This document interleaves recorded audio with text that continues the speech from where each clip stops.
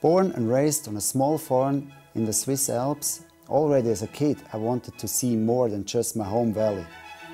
The bicycle used to be the very first haul means that allowed me to travel through Switzerland with my friends. Later I started to compete and my journeys took me further and further. On one of these trips I met Hans Rey, the bike legend itself. He told me that the roots of mountain biking go back to the year 1890 in the USA.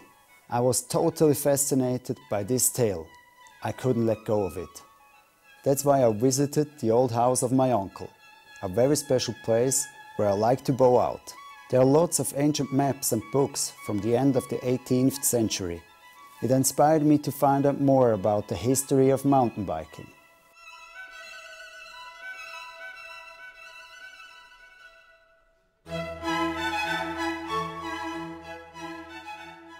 I found out that in 1896 the US Army was testing if bicycles might be used for military purposes. Therefore, they sent Afro-American troops off-road by bike. These troops became well known as the Buffalo Soldiers.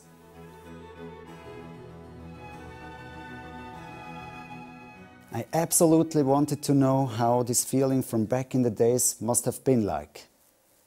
So I grabbed some old clothes, shoes, a backpack and went on an old Swiss army bike that was developed over a hundred years ago in 1903.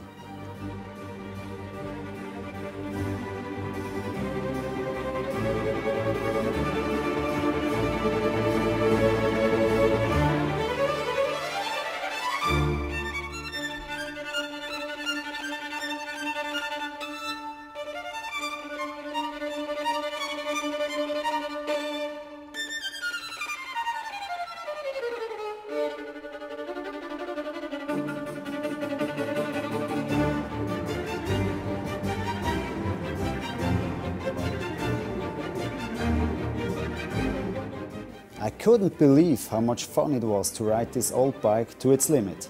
This is when I decided trying to follow the footprints of the Buffalo Soldiers.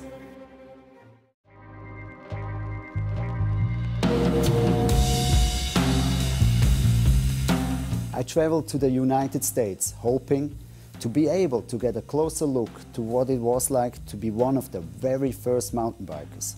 And honestly, if I'm already in the States, I want to ride some ultimate trails and experience adventures together with my buddy and pro biker, Ross Schnell.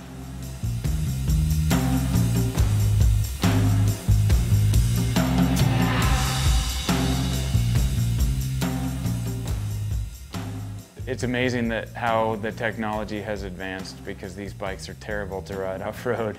These guys were doing it, they weren't complaining.